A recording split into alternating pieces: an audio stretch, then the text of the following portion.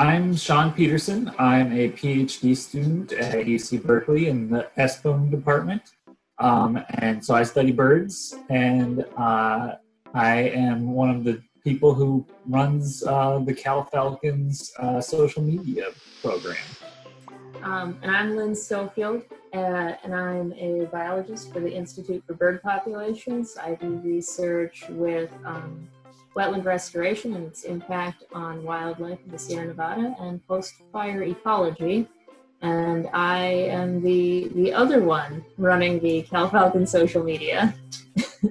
there were a bunch of people who kind of simultaneously discovered the Falcons when they first showed up in the winter of 2016 to 2017. Lynn was actually studying in the courtyard of VLSB when she heard a bunch of falcons making noise and looked up and was like, "Oh, that looks like the, uh, some falcons interested in in setting up a territory." Grinnell the male, uh, I have a certain fondness for him because he kind of comes off as a little less serious.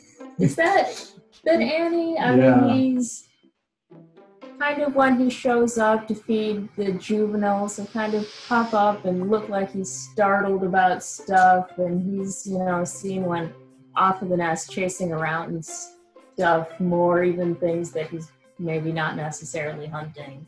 Of course, you can't quite attribute human personality types to something that's not a human because we don't really know. But he, he definitely is distinct from Annie, which I feel like she's, you know, much more focused on business.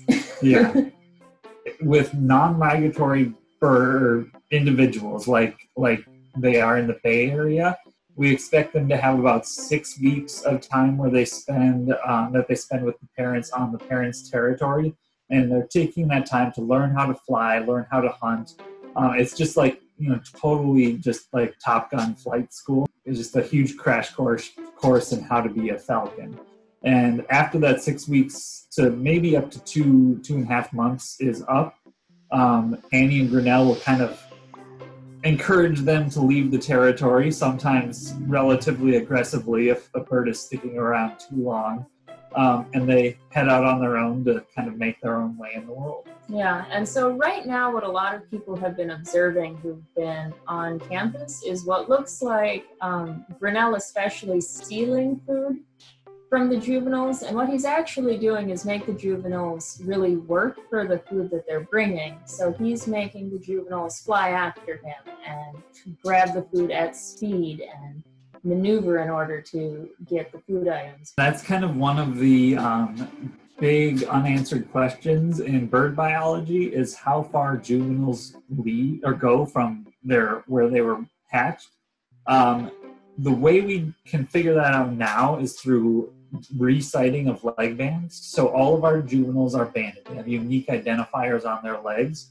So anyone who sees one again can report that information to the um, federal bird banding lab, and then that information will get sent to us, and we'll know exactly where that bird ended up. So we do have one of Annie and Grinnell's chicks that ended up being resighted um, a few times, and most recently on Alcatraz, and that's Lawrencium from two years ago.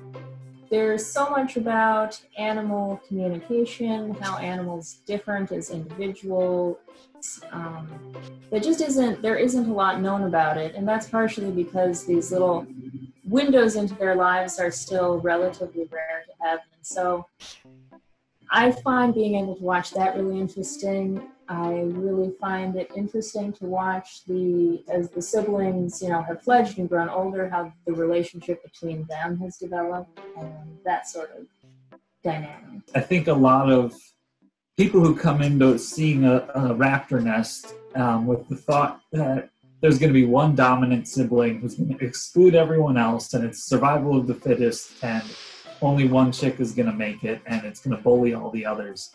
Um, and with peregrine falcons, you don't see that pretty much ever. Um, the chicks are very well cared for by their parents and very equally cared for, and um, they are actually relatively affectionate with each other, um, preening each other and, and kind of hanging out with each other and it's really fun to see that behavior. Um, they don't know that they're being you know monitored. They are blind to our presence, um, so they're just acting like they would in nature.